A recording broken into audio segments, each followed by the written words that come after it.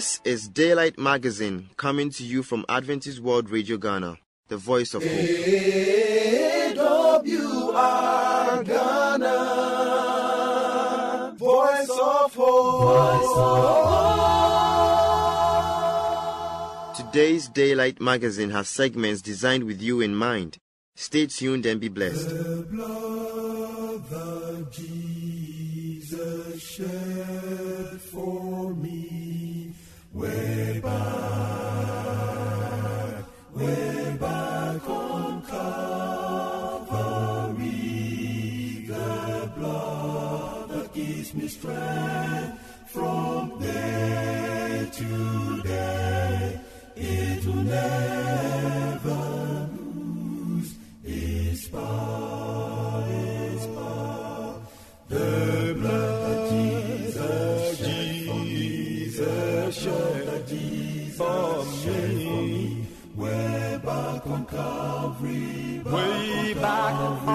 Calvary, oh, the blood that gives, me strength from day to day to day. It will never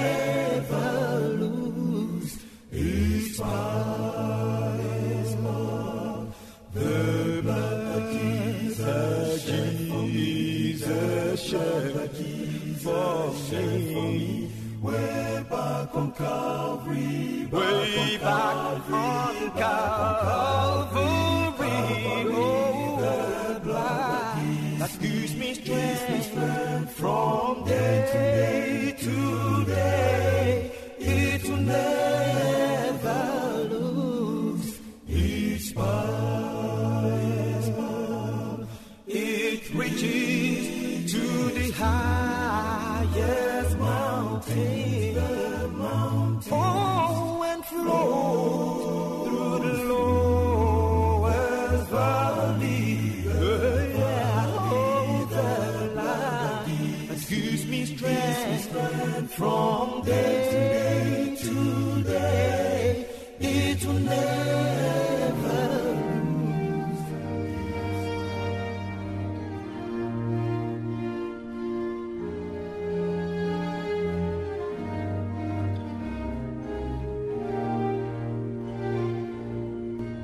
For our reflections, we shall look at Exodus 39, verse 30 to 43.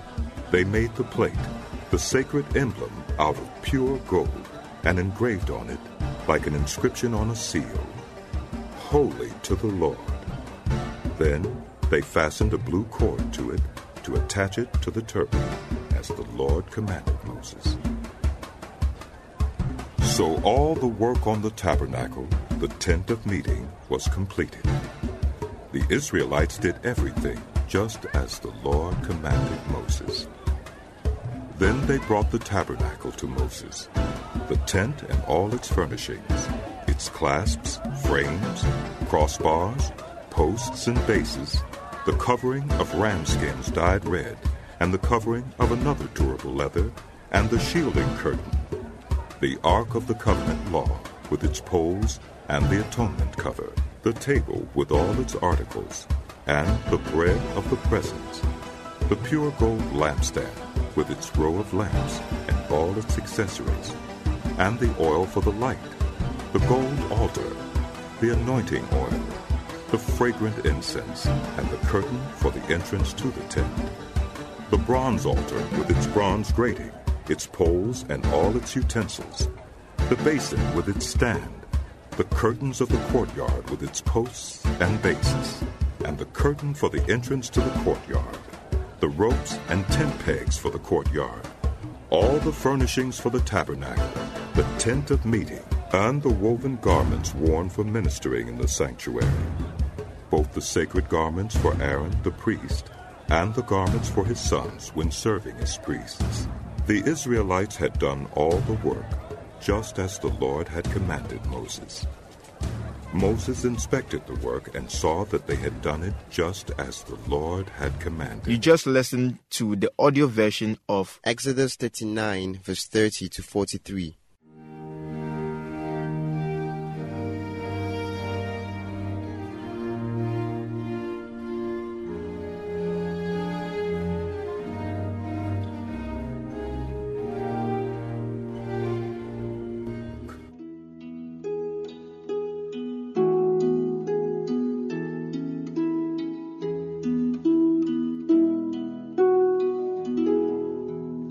Do you choose? Eternal damnation in hellfire or eternal life in a golden city? Hell was not made for any man but the devil. Dear listener, don't allow him to deceive you to sin to join him in hell. Accept Jesus Christ today as your personal Savior. Get baptized into a true Bible believing church and live daily for the Lord with the help of the Holy Spirit. Your eternal life will be guaranteed. God bless you.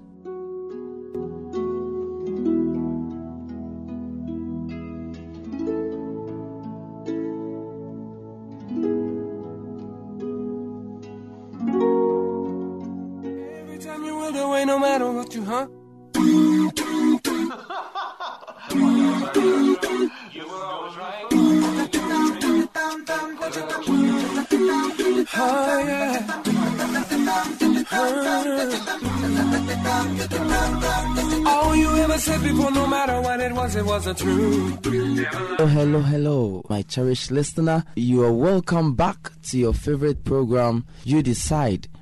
My seasoned panelists will just bear out the facts. Today with me is, Nyaititego. Pastor AY Brent Coker. and as usual, I am your host, Thomas Isaac.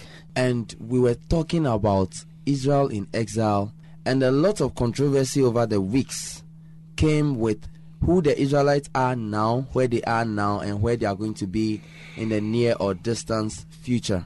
And that is why, if you heard one of my panelists making a lot of expansions on the point, Nia Itetego, it's your turn. Yes, oh. come in with your summary and your your points. Okay, I want to give a rebuttal, if I Yes. put it, Yes. to what Pastor just said. Yes. And I want to begin with Acts chapter 1, verse 6. Um, I'm using the contemporary English version. Okay. And the Bible says that while the apostles were still with Jesus, they asked him, Lord, are you now going to give Israel its own king? Jesus said to them, You don't need to know the time of those events that only the Father controls. This statement or this question makes it clear that the disciples of Christ and the Israelites of his time were expecting Israel to be restored. As of that time, Israel was not independent. They were being ruled by the Romans. And the people of Christ's time were expecting that Israel will be restored as has been prophesied by the prophets. And Jesus' disciples believed so much that he was the Messiah who was going to bring about this restoration, this physical restoration. Okay. What text did you read earlier? Acts, chapter 1, Verse 6. verse 6. Verse six. Okay. Yeah. They on. were expecting a physical restoration of Israel, a Messiah that God was going to send to restore Israel physically. And Jesus was telling them that it- it wasn't theirs to know the time. Now, in Acts chapter 1, verse 12, you see Jesus have, uh, ascending from their sight. They were gazing into the clouds, and then these two angels appeared and told them that ye men of Galilee, this same Jesus you see going shall the same way come down. And this was on the Mount of Olives. Right. Now, this was just a background. Now, I want to use the same text that Pastor used and then make some clarifications according to my understanding of the Word of God. Now, Pastor used Isaiah chapter 11 and he started from verse 1 thereabout. I want to also continue from the areas that he had an issue with. Um, that's um, Isaiah chapter 11, from verse 11 going. He says that when that day comes, this is how it begins. It when that day comes. What day are we talking about? It's talking about the day that the disciples were asking Christ when he was going to restore, and Christ said that it is not for you to know of that day when I mean the Father have you know. How do you know for sure that that is actual? Because it's not in the same text? This is in Isaiah, and the question was asked in uh, Acts. exactly. How sure are you that it Eh, is? but that but it day? for it is for such prophetic sayings that um, it was based on such prophetic sayings that the disciples were aware of that they asked Christ that question. Okay. And and Isaiah is saying that when that day comes, the Lord will again reach out his mighty arm and bring home his people who have survived in Assyria, Egypt, Pathros, Ethiopia, Elam, Shinar, Hamath, and the land along the coast. And every scholar of the Bible should go search for the present name day names of these places. Okay. And if you have an idea of history, you will know that the remnants can be found among such, I mean, also in these areas. Okay. After all, we know they are scattered all over the earth. Now, verse 12 says, He will give a signal to the nations and he will bring together the refugees from Judah and Israel who have been scattered all over the earth. Israel will stop being jealous of Judah, and Judah will no longer be an enemy of Israel. Instead, they will get together and attack the Philistines in the west. These are not stories; these are in the Word of God. Mm-hmm. We are reading from the Word of God, and and and and uh, you. They will attack the Philistines. This certainly can't be in heaven, and this certainly the Philistines are not going to be there during the uh, um, the, the, the the new heaven that is going to come down after the millennial reign when you go to verse 15, it says that the Lord will also dry up the arm of the Red Sea near, near, near Egypt, and he will send a scorching wind to divide the Euphrates River into seven streams that anyone can step across. Then for his people who survive, there will be a good road from Assyria, just as there was a good road for their ancestors when they left Egypt the Euphrates is going to be dried up just to make way for God's people who are scattered all over the earth to be able Come to have together. access to the land. And when you talk to researchers at the moment, the Euphrates, the river Euphrates, is drying up as we are talking now. The level of that river keeps diminishing and diminishing and diminishing. Okay. It is a reality that is happening. Okay. Prophecy being fulfilled. So, do you mean to say all this will happen in the Certainly, future. eh, certainly. Is it when Jesus comes or before? some of these events, for instance, like I'm talking about the Euphrates Drying diminish up. exactly. There are certain things that are going to happen before he actually lands. Yes, All but right. we need to have an idea that these things are all going to happen. Now I want to go to Zechariah 14 as Pastor went there, and then I will read from verse um, 1. It says that the Lord will have his day. Is still talking about that day because Christ is going to come on a single day. Wow. And he says that the Lord will have his day. When he, it comes, everything that was ever taken from Jerusalem will be returned and divided among its people. What do you need earthly things here for to go and share in heaven? Mm-hmm. We are talking about physical earth when the Lord returns. When you read Zechariah 14, verse 5, then he said, then you people who escaped from the Lord's mountain through the valley, which reaches to Azal, you will run in all directions, just as everyone did when the earthquake struck in the time of King Uzziah of Judah. Afterwards, the Lord my God will appear with his holy angels. It will be a bright day that won't turn cloudy, and the Lord has decided when it will happen. This time of unending day, in both summer and winter, life giving streams will flow from Jerusalem, half of them to the Dead Sea in the east, and half to the Mediterranean Sea in the west. We don't have the Dead Sea and the Mediterranean Sea in heaven, they are here on earth. Verse 14, he says that then there will be only one Lord who rules as king and whose name is worshipped everywhere in the earth. Mm-hmm. When you read verse um, 14 of Zechariah 14, it says that finally everything of value in the surrounding nations will be collected and brought to Jerusalem gold, silver, and piles of clothing. Um, um, verse 16 says, Afterwards, the survivors from those nations that attacked Jerusalem will go there each year to worship the King, the Lord all powerful, and to celebrate the festiv- festival of shelters.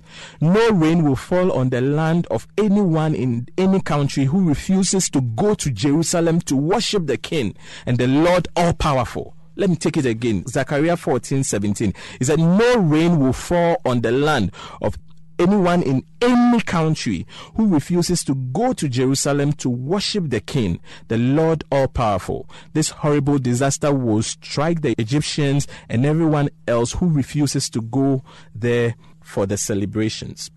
I just want to summarize and say that it is high time that we allowed the Bible to speak for itself. Mm-hmm. Uh, sometimes we hold on to certain doctrines that make us force to explain exactly, things. exactly. So, are you trying to say that these nations that are going to come from places to worship God, the Almighty, and all stuff will all happen on this earth? Yes.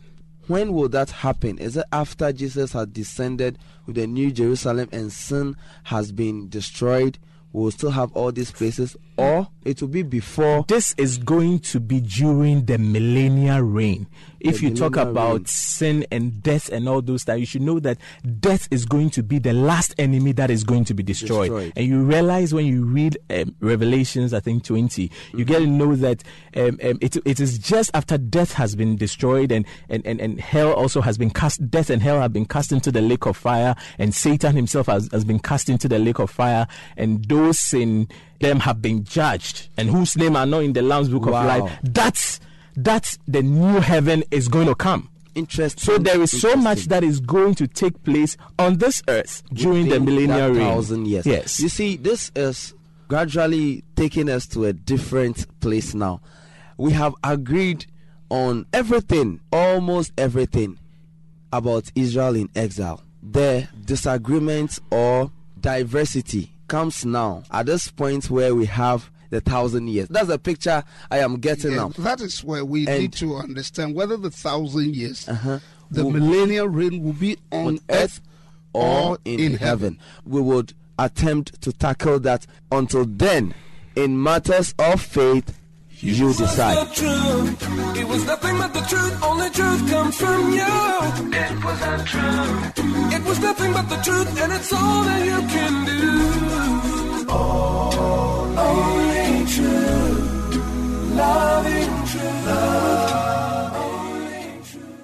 for any enquiries or contribution, you can contact us on plus two three three two four four six seven three five two eight or zero two four four two three five zero one seven or email us at radio at vvu.edu.gh or through the postal address Adventist World Radio Ghana, P.O. Box AF 595, Adenta Greater Accra Region, Ghana. AWR Ghana, Voice of Hope. Voice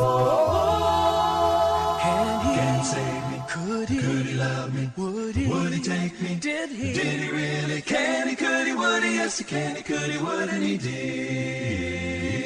Oh can he? Can he save me? Could he? Could he love me? Would he? Would he take me? Did he? Did he really? Can he? Could he? Would he? Yes, he can. He could. He would, and he did. From the moment I heard about the Lord and His Word, well, it seemed to me too good to be true. There were questions and doubts. I tried to figure it out, but the best that I could do was to wander around in the Lord that I found till my questions started answering themselves. Singing, can he, could he, would he, yes he can he, could. Can he? Can he save me? Could he? Could he love me? Would he? Would he take me? Did he? Did he really? Can he? Could he? Would he? Yes he can he, could he, would and he did. Oh, oh, oh, can he? Can he save me? Could he? Could he love me? Would he? Would he take me? Did he? Did he really? Can he? Could he? Would he? Yes he can he, could he, would and he did. Can say you don't know it's necessarily so, like somebody said it once in a song. You can think what you choose, but let me tell you the news: the Lord has loved you all along. So if you're asking again, will the doubts never end? Simply trust Him and you'll see for yourself. Singing, can He, could He, would He, yes, He can He, could He, would, and He did. Can He, can he me? Could He, could He love me? Would He, would He take me? Did He for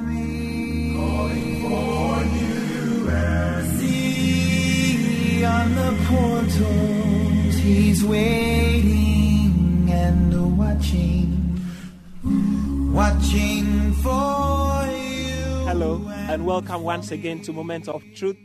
My name is Appiah Solomon. This day, I also want to share with you another interesting lesson that comes from the Bible, I want us to draw some lessons for our lives here in the book of Hebrews. But before we do that, shall we pray? Father, thank you that today you can help us to study about faith, what faith really means. We pray that grant us understanding. Holy Spirit, come and take control in Jesus' name. Amen. My friend, the Bible depicts a lot of issues about faith. The book of Hebrews is a profound one that talks a lot about faith. The 11th chapter of the book of Hebrews begins by defining faith. Verse 1 says that now faith is the substance of things hoped for, the evidence of things not seen. Verse 2 continues to say that, for by it the elders obtained good report. If scripture is saying that faith is the substance of things that you have not seen, but because of an element that is motivating inside of you, it is making you hope for it, to look forward for it, to envision it, even though it may be in the future. It is by it, the Bible continues to say in verse 2, that it is by this element that is called faith that the elders obtained good report. You may ask yourself, what is good report? A good report is to be acclaimed, something that is envious, an attribute that people would want to covet. The book of Hebrew, chapter 11, outlines some of the great men and women of faith in times past. Some of the great men and women who stood for their faith. But today, I want us to look at just one of these characters that the book of Hebrews identifies with faith and look at how we can take lessons from this element of faith in our Christian life. I want to read from chapter 11 of Hebrews, verses 23 and 24. It says, By faith, Moses, when he was born, was hid three months of his parents because they saw he was a proper child. Notice the words proper, faith, and they were not afraid of the king's commandment. Verse 24 says, By faith, Moses, when he was come to years, refused to be called the son of Pharaoh's daughter. Verse 25 continues to say, Choosing rather to suffer affliction with the people of God than to enjoy the pleasures of sin for a season. What is faith? Even as we contemplate the subject of faith, I want to draw our attention to what faith means here for Moses. Moses looked beyond the pleasures of today. He looked beyond the pleasures of staying in the house of the king of Egypt to enjoy all the riches, to enjoy all the wealth, to enjoy all the royalties that he came across. Don't forget that at birth, Moses' parents were subject to a commandment, a decree from Pharaoh, the king of Egypt, that every male born child should be killed because the parents had faith and they knew that there was the need to obey the God which they served. They decided by faith not to obey the king's commandment. Sometimes in our lives, our faith might make us seem to flout authority. But, beloved, I want to tell you, I want to assure you that each time our faith comes into direct contact and into direct opposition with things that are worldly, powers and authorities that are worldly, that are not scriptural, that are not inspired by God, we need to, like Moses, stand by our faith. We need to, like the parents of Moses, stand by our faith that we may have good report, like verse 2 of the book of Hebrews, chapter 11, tells us. In order that we can have that very good report, then we must stand like Moses, so that in spite of all the pleasures that we can be able to enjoy in our workplaces, in our homes, in our families, because of faith that we are standing for, we shall choose rather to obey our God. We shall choose rather to go by the dictates and the commandments of our God. We choose every moment rather to obey the will of God than to do other things. It is because of this that we can today refer back to Moses that he was a great leader. In fact, the Lord Jesus Christ himself declared that there was no other greater prophet than Moses. This is a good report. If you wish to get such a good report, then you need to stand by your faith. And standing by your faith means that sometimes you are going to come into opposition. But when you come to opposition, know that the Lord is with you. Before I go, I want us to share another word of prayer. Father, thank you that we can share lessons from the book of Hebrews, chapter 11. We pray that grant us firmness in our faith. Let us be able to stand by faith according to all that you have written, that we shall please you. We thank you for answered prayer in Jesus' name. Amen.